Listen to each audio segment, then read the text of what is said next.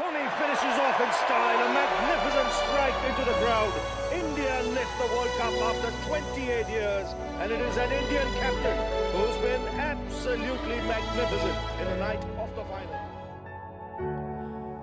সময়টা ছিল নয় জুলাই দু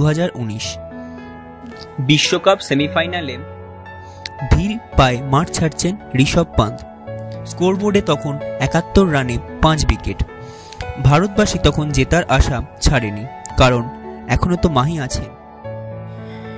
দলের রান যখন বিরানব্বই, তখন হার্দিক পান্ডিয়া ফিরে যায় এবং জাদেজা ক্রিজে আসে। ধোনি জাদেজা যুগলবন্দিতে একশো ষোলো রানের এক অসাধারণ পার্টনারশিপ করে যখন জাদেজা প্যাভিলিয়নের দিকে যাচ্ছে, তখন ভারতবাসীর মনে আসা ধোনি হ্যাঁ তো সব মুমকিন হ্যাঁ। না, সেদিন মাহি আশা পূরণ করতে পারেনি। আটচল্লিশ পয়েন্ট তিন ওভার গেম গাপটিলের ডাইরেক্ট হিটে শেষ হয়ে যায় জেতার আশা।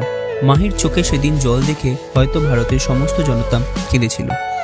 আর এখানেই শেষ হয় একটি অধ্যায়। পরে মাহির দেওয়া ইন্টারভিউতে রান নেওয়ার সময় এন্ডিং পয়েন্টে কেন সে সেই সময় ডাইভ দেয়নি, সে নিয়ে আক্ষেপ ধরা পড়ে। সেদিনের পরেই মাহি সিদ্ধান্ত নিয়েছিল, ক্রিকেট থেকে কিছু মাসের জন্য সরে দাঁড়াবে। কিন্তু কোনো ভারতীয় এটা ভাবতে পারেনি যে সেই সরে দাঁড়ানো এটা চিরস্থায়ী হয়ে যাবে। ডিআরএস নেওয়ার সময় তার নির্ভুল অনুমানের মতোই কখন নিজেকে সরিয়ে নিয়ে নতুন প্রজন্মকে সুযোগ করে দিতে হয়, সবই হয়তো ওনার জানা।